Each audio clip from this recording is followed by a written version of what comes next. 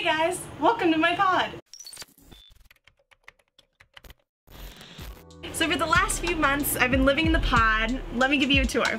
On the right, we have some drawers, and this is where I store my workout clothes along with some other clothes. These drawers actually go pretty deep into the pod, so they can store a lot of stuff. In the back of the pod, we have a closet rack, and this is where I keep all of my jackets, sweaters, dresses, and anything else I want to hang. I can fit about 20 pieces back here. We also have outlets in the back for all of your charging needs and some air supply to keep it from getting too stuffy. The front of the pod has a shelf where I keep my handy Cracking the Coding interview book, link in the description, as well as some other stuff.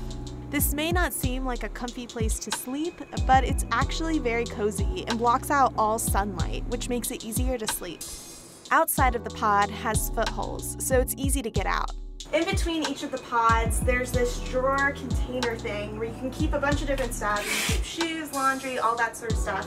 And it actually goes all the way down through this pod structure. And so there's a hole at the back of the pod and that's where I tag this like laundry bag and I tend to stuff laundry into the laundry bag, stuff it down this like pod container. So all the other, the far, far end of this, you'll see like a big laundry bag. But then at this end, I keep my shoes and other stuff that I use um, pretty often. We also have this balcony out here. Just look at this view. Enough about this, let's check out the rest of the house. So this is my pod room, and as you saw, there were six units, or six pods. We have two other pod rooms right over here, and each of them also have six. So we have 18 just on this floor alone.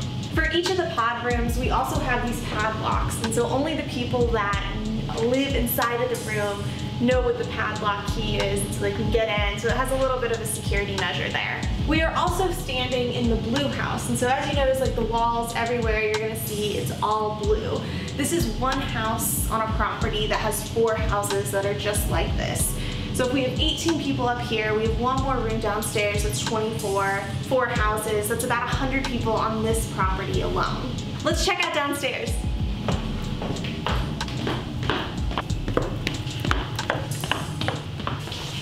We have the kitchen. Inside the kitchen, you get a couple of things given to you. You get one plate, one fork, one knife, and one cup. And they're all stored in your given pantry space. And then you might be thinking fridge space, like what about food that actually needs cold air? Well, in here, this is like all of my food. You get half of a fridge shelf. And so this is like the food that I have. And so we have a bunch of yummy food in there. And as you can see, each of these are labeled on the side for each person. We also have a big freezer, um, but since there like obviously isn't enough room for everyone to have a shelf in the freezer, you just label your food, stuff it in there, and that's that. We also have some community type items, and so in here, things that anyone can use. You just use it, wash it, put it back, you don't take it. And these are usual cooking supplies. The spatulas, all those sorts of things uh, that you might not want to store in your pantry, but that everyone just uses a lot to cook. We also have some communal pots and pans, and those are stored all in here. And so again, you just take one, use it, put it back, and everyone in the house uses them. We have a couple of other kitchen appliances. We have a coffee maker, a toaster, a NutriBullet, we have a microwave here, and we have another microwave, but this microwave is broken, and so instead of replacing this one, we just got a new one here. Along with your pod, you also get a locker, and so the lockers are over here, but you get a locker for your valuables and anything that you might not want anyone else to have access to. So here are some of the lockers. Here we love labels. Mine's way down here, and really annoying because doing this lock kind of sucks. We also have a chill area out here. So this is where people come to eat, relax, talk with friends. I edit out here a lot. So that's the blue house. Let's check out some of the other houses. Now we're in the red house. Let's take a look around.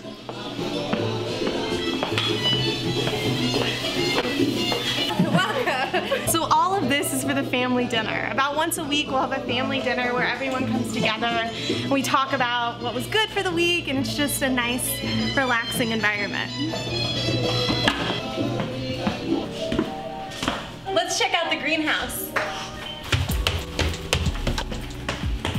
This is the greenhouse, and as you can see, everywhere it is green.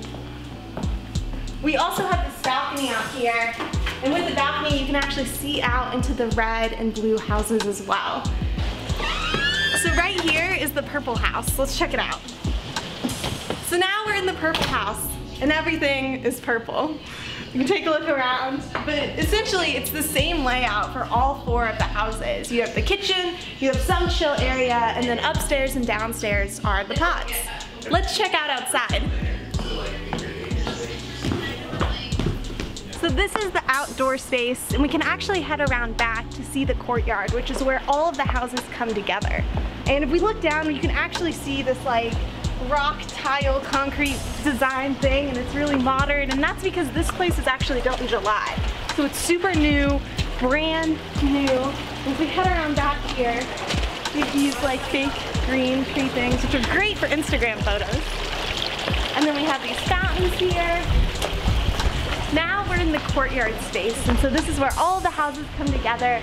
We have the purple house here, the green house, the red house, and the blue house. Outside here is where I take a lot of Instagram photos, but you could also come out here to meditate, to study, relax, and it's a great place to meet up with people. We also have these four garage doors here. So we have one over here, one here, one here, one for each house. But these garage doors, they, you think they would store cars, but they don't. There's no parking on the property. But what they do have is even better. We have a movie theater in the blue house, a study area in the red house that's like really, really quiet.